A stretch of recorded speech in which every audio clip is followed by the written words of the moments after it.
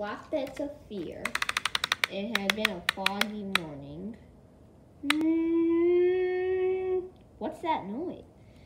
That's the flatbeds of fear. The flatbeds of fear? What's that?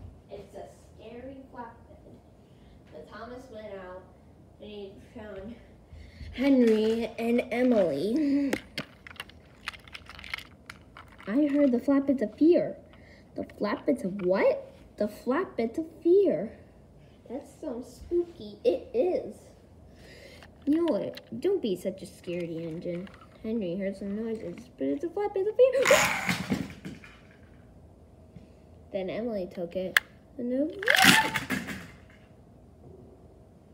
then Salty, we heard the flatbeds of fear. No, that's fake. Oh.